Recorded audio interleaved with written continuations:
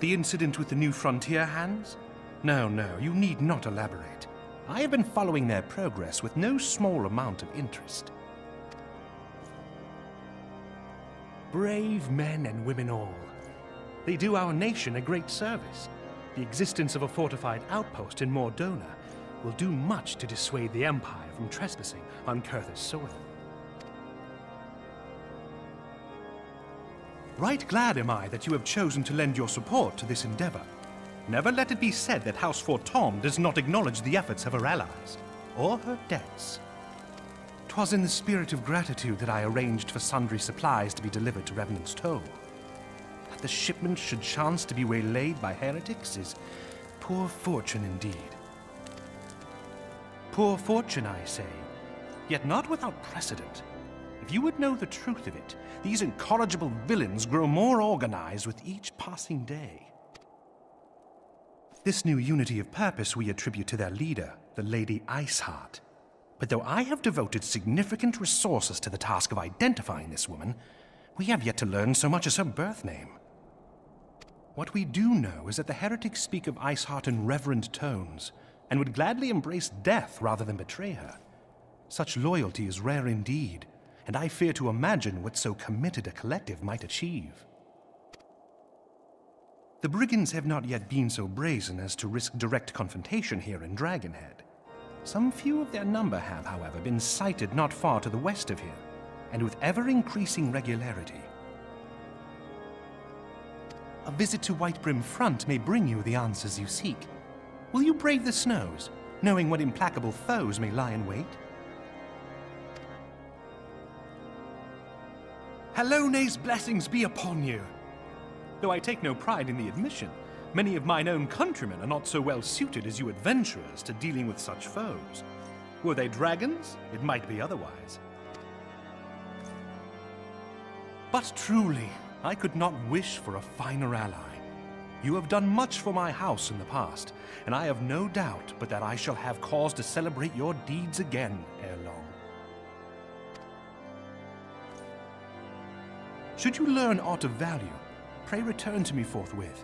A warm hearth and a warmer welcome shall be waiting for you.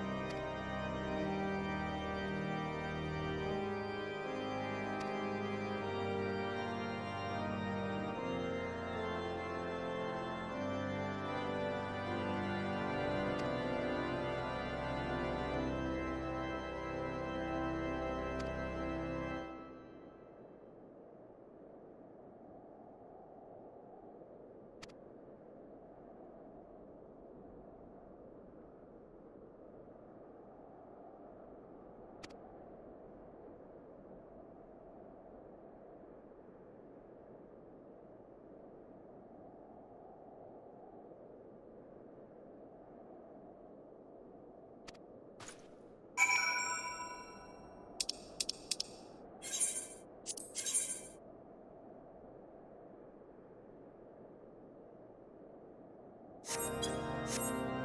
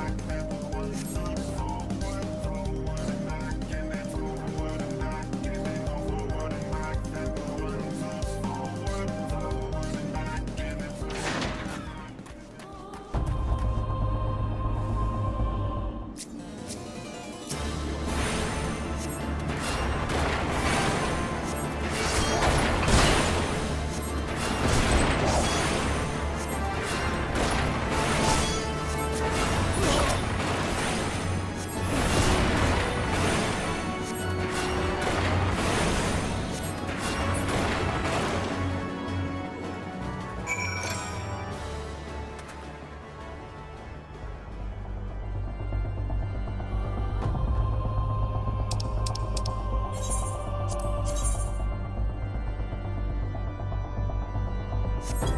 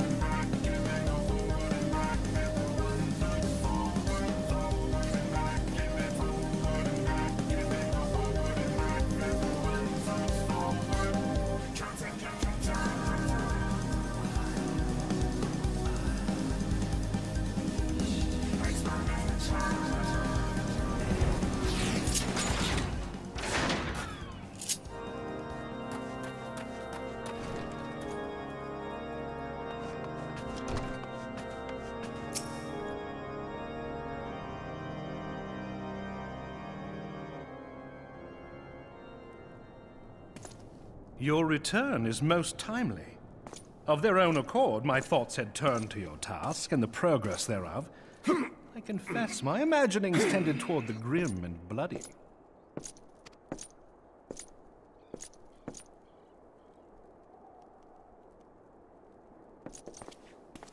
But you are here now, and I suspect such frivolous wonderings do little justice to the reality of your travails. Tell me, what did you learn of Iceheart?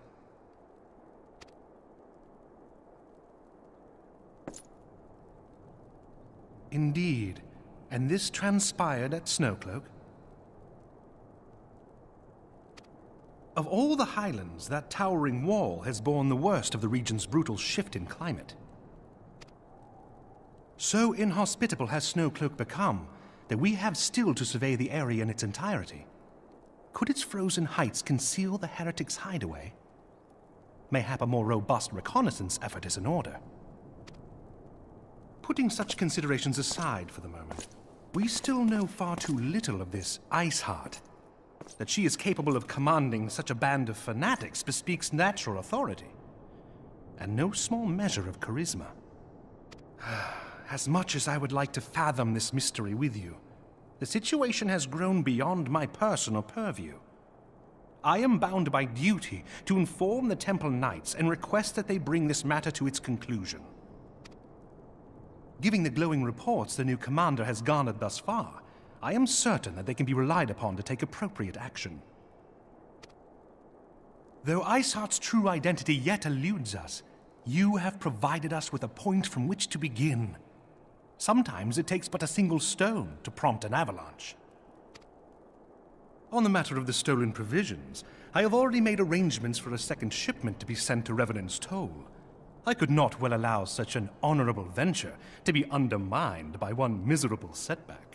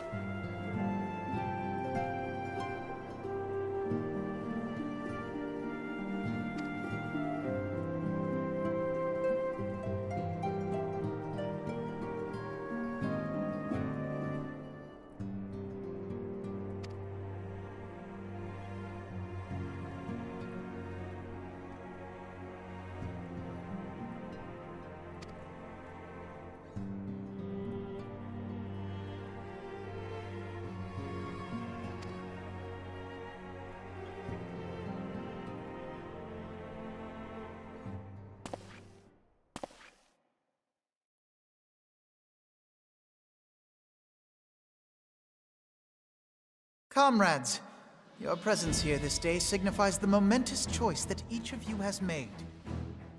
With your strength now pledged to the scions of the Seventh Dawn, you are beholden to no single nation.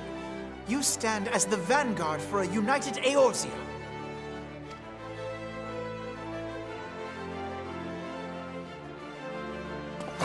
From this moment forth, I declare you Crystal Braves. Let us mend this fractured realm and face our enemies as one.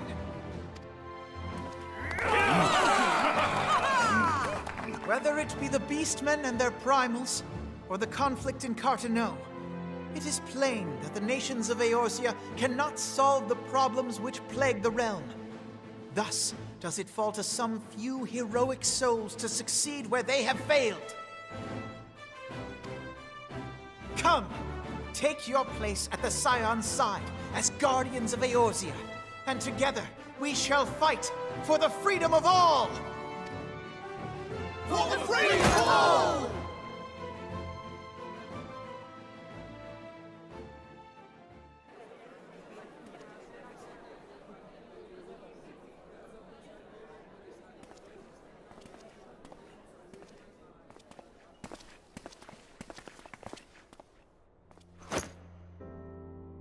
A rousing speech, Alphinaud. Or should I say, Crystal Brave Commander Leveilleur? Please, Antecedent. The title is honorary. I shall not be leading the troops into battle, as it were. We are of the same purpose. Let us join hands and do what must be done to save this land. The Scions stand ready.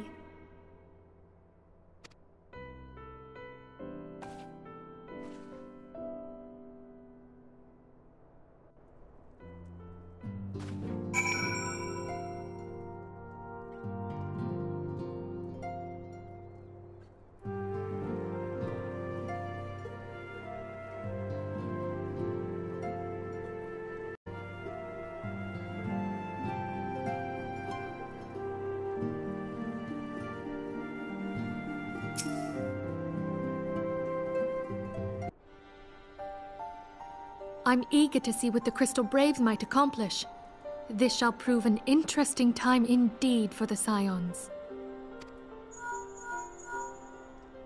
Yes, I'm listening. So our worst fears are confirmed. The entire Isle. Such power defies comprehension. Truly? Krile is alive? Thank the Twelve. I see. Pray, inform me if her condition changes. Yes, I shall pass on your words to Urianger. My thanks. I shall contact you anon. When I learned of the loss of the Isle of Val, I dared not hope that my friend had survived. Yet, by some miracle, it would seem she has. She's still to regain consciousness, it is true, but better that than death. Putting this happy news to one side, we must now endeavor to make sense of the readings taken by the survey party. It appears the etheric disturbance which accompanied the Isle's destruction is of a magnitude alarmingly close to that of Ultima. Could the Ascians be responsible for this devastation as well? I wonder. Have you heard aught from the Mother Crystal since the battle with the Garleans?